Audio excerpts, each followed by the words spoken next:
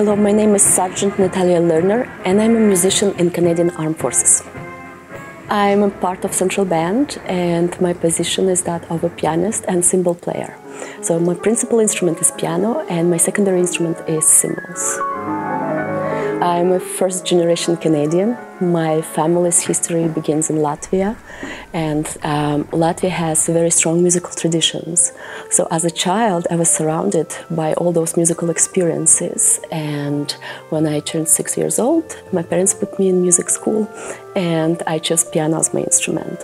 So, I could say that I'm a classically trained pianist. Um, when it was uh, my time to choose a musical instrument, I wanted to be just like my older sister. She played violin. I listened to her practicing, so I, naturally I wanted to play violin as well. But my parents gave me a light ultimatum. They said uh, one violinist per family would be more than enough, and um, I chose piano, and I never regretted it. Um, life was not easy eh, in Latvia due to different reasons political, uh, economical, and my family left Latvia during the times of great uncertainties. Many people were seeking refuge in different countries, and in my case, in the case of my family, we were very fortunate that Canada accepted us with open arms. Central Band is participating in a variety of uh, musical events.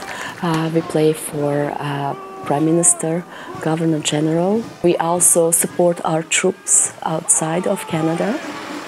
This summer, we are uh, getting ready for our exciting project. Uh, Central Band is being deployed to Latvia.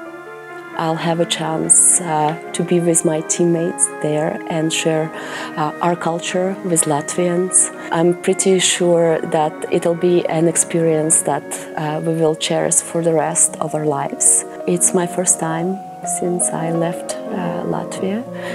And uh, I'm sure I will be overwhelmed by a variety of emotions. For me, piano is my preferred instrument. It, it is my voice, it is my way of self expression.